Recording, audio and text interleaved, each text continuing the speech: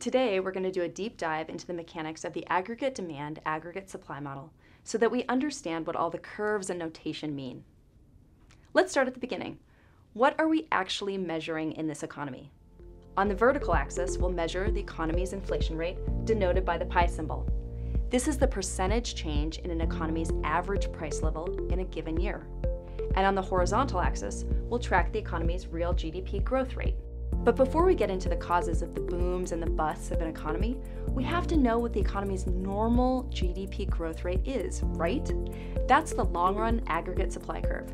It's the vertical line because an economy's long run growth rate shouldn't depend on inflation. Instead, it should depend on the fundamental factors of production technology, capital, and labor. So we can treat the LRAS curve like the North Star of economic growth. The economy will tend to return to this level of economic growth over time, assuming no changes in the fundamentals. Now let's derive the aggregate demand curve from the quantity theory of money. Recall that the money growth rate plus velocity growth rate equals inflation rate plus real GDP growth rate.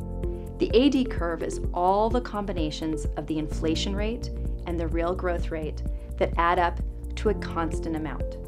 So for example, same money growth is 4% and velocity is 1% for a total of 5%. Then any combination of inflation and real GDP growth must add to 5%. Alternatively, since the inflation rate plus the growth rate of real GDP is the growth rate of nominal GDP, we can also say that the AD curve shows all the combinations of inflation and real growth which give the same growth rate of nominal GDP.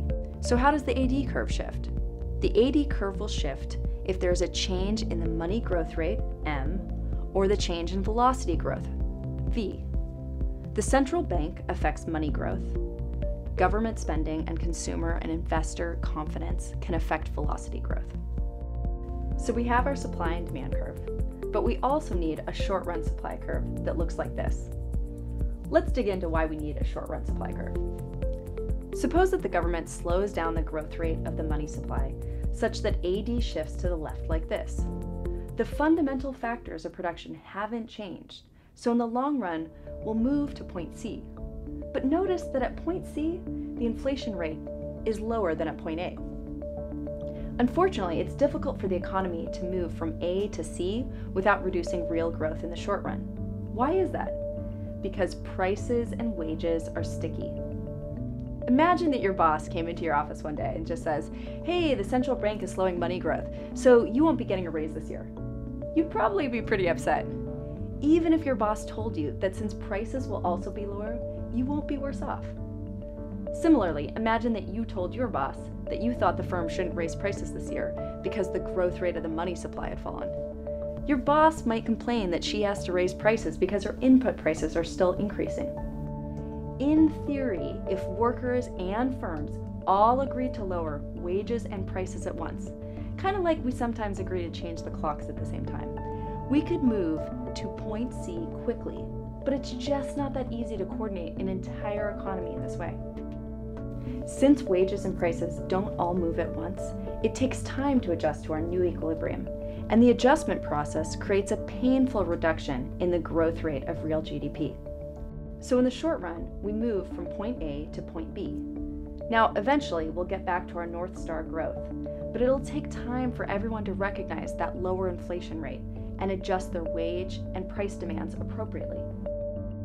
Now, when we finally do return to our long run equilibrium at point C, Everyone will now expect that newer, lower rate of inflation as denoted by the pi equals 2%, which means workers and firms now expect an inflation rate of 2% and make their decisions based on that expectation rather than the previous expected inflation rate of 4%. So we can also say that a short run recession occurs because at point A, people are planning and making decisions expecting that an inflation would be 4% and when that expectation turns out to be false, it takes time to adjust those plans, decisions, and expectations to the new inflation rate of 2%. Now, it's important to realize that this is just a model, and a model tells us things like if X happens, then Y will happen, or if Q happens, then Z will happen. But by itself, the model doesn't tell us if Q or X are happening. For example, the Great Recession was in part caused when housing prices fell dramatically, causing people to cut back on their spending, a fall in the growth rate of V.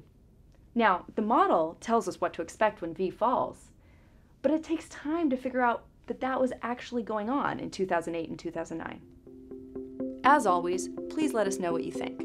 And if you want to challenge yourself some more, check out our practice questions at the end of this video.